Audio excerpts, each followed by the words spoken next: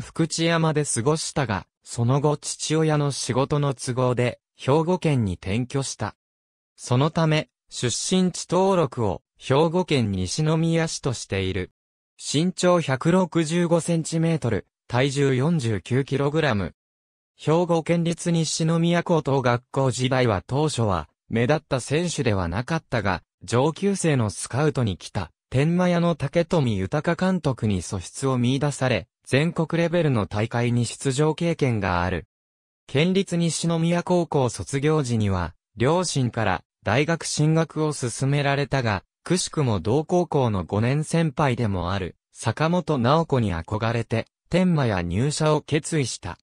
現在は、天満屋女子陸上競技部に所属。チーム OG には、シドニーオリンピック7位入賞の山口エリラがいる。入社後は全日本実業団対抗女子駅伝などの大会に出場、着実に実力アップを図ってきた。2008年3月9日に施行された名古屋国際女子マラソンに初マラソンながら国内招待選手として出場。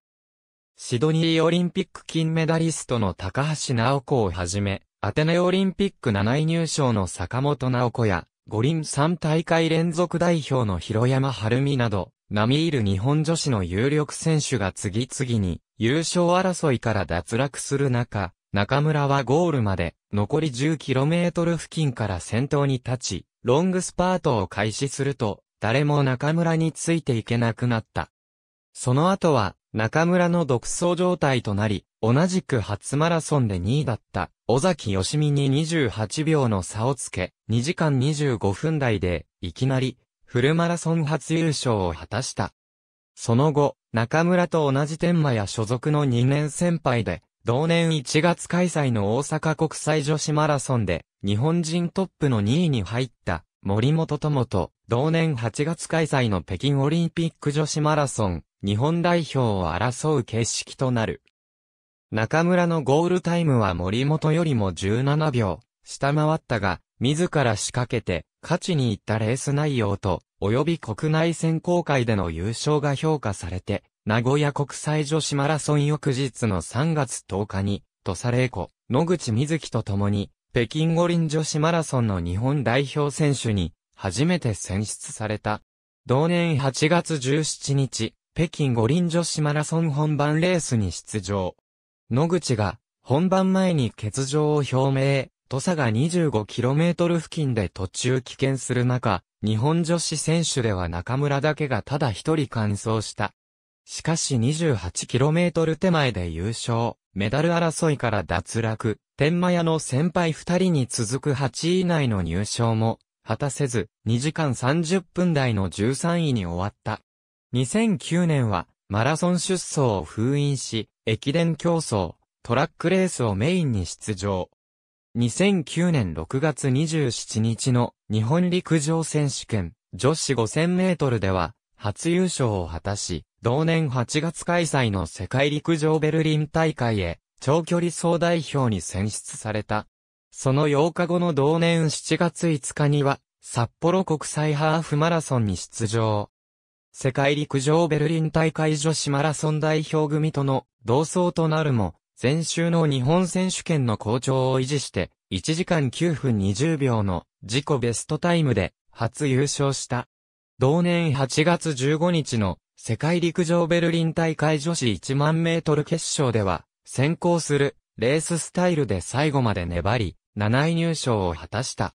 世界陸上で日本女子長距離総代表の入賞は1999年世界、陸上セビリア大会女子1万メートルの広山、春美と高橋千恵美の二人同時入賞以来10年ぶりである。また8月19日の同大会の女子5000メートル予選を通過し、8月22日の女子5000メートル決勝では12位ながらも自己ベスト記録をマークした。同年10月11日の世界ハーフマラソン選手権は1時間10分19秒の記録で日本女子トップの12位に入った。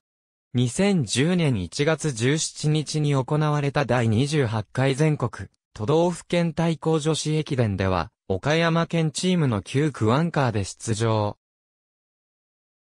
区間記録では、福士加代子に及ばなかったものの、1位を死守して、岡山県チームの初優勝に貢献した。同年4月19日、北京五輪以来1年8ヶ月ぶりのマラソンとなる、ボストンマラソンに出走したが、レース中盤の 20km 付近で、先頭集団から遅れ、7位に止まった。同年7月4日の札幌国際ハーフマラソンでは2連覇を目指したものの、優勝した加納ゆりに遠く及ばず1時間17分03秒の28位に終わった。同年12月19日開催の第30回全日本実業団対抗女子駅伝大会では、天満屋チームとしてエース区間の3区 10km に出場。3区終了時点は5位だったが、その後5区の重友理沙が区間首位の構想で逆転に成功、アンカーの浦田香織も区間1位の回走を見せ、天満屋チームの悲願だった同実業団女子駅伝の初優勝を達成した。2011年3月11日に起こった東日本大震災により、同年3月13日にエントリーしていた名古屋国際女子マラソンが中止に。約1ヶ月後、同年4月17日のロンドンマラソンに出走したが、序盤の 10km 付近で、日本選手らの第2集団から早々遅れ始め、結局記録、順位ともに、ワーストの31位に終わった。その後のレースでも、北京五輪前後の好調な走りが影を潜め、スランプ状態が続いた。